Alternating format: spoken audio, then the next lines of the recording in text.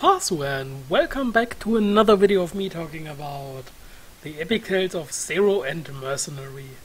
And oh boy, it looks like we're going to prepare for the final stuff of this show because it's a single cour season and we're already on episode 9 so three episodes are left I believe and it's time to prepare for the final. So, our trio, the two Beastfallen and Albus got away, and Albus woke up and yeah, he, well, she didn't really say anything about being a girl. She just said to Mercenary, well, we both lied about certain things and this is okay. It totally makes sense if you ask me. And it's really, really funny to see them running around, trying to figure out things, getting the old clothes from Zero, to do the witch magic thing to locate where she is. Obviously the shopkeeper he wasn't he wasn't really happy about it, he was seriously gross. Oh my gosh. He was really, really uh, such a pervert. Damn it. But anyways, um, Zero is still locked up in the tower. 13 is still... Well, he's still 13.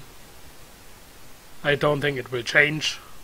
The same way Kirito is still Kirito and it isn't going to change. God damn it.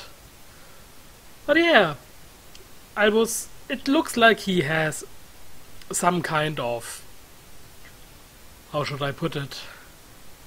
Allies, but he's still kinda a traitor to them, so he couldn't do anything else than just going with them, and they destroyed this one magic circle he set up so that he can seal the magic away.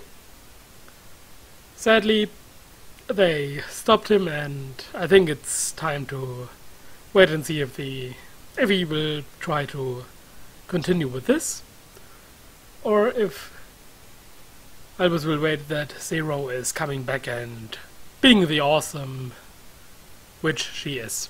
I don't know, so I think I will just have to wait.